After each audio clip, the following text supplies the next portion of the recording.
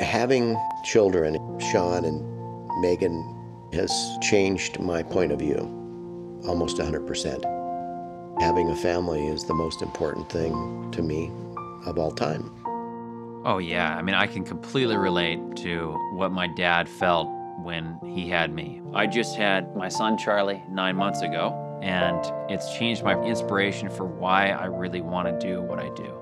We always would take the kids with us whenever we would go filming. I've been a cheap extra um, my entire life up until high school when I officially started working. I guess that's where I started. There goes my better Billy! You know, working with your family members is really, really cool. It's such a delight. It was exciting because I was able to learn about story, about these characters, about appreciating wildlife. and uh, I, I was able to do a lot of fun stuff. And Shaun came to us and he said, You know, I'm thinking that maybe I want to take up film. And of course, inside, I'm just going, All right, this is going to be fantastic.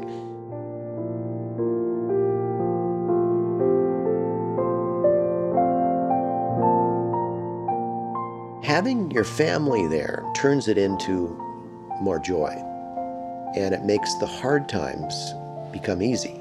That 20 years that Shaun and Megan were living with us were the most valuable of my life, and I, I, I wouldn't trade that for anything.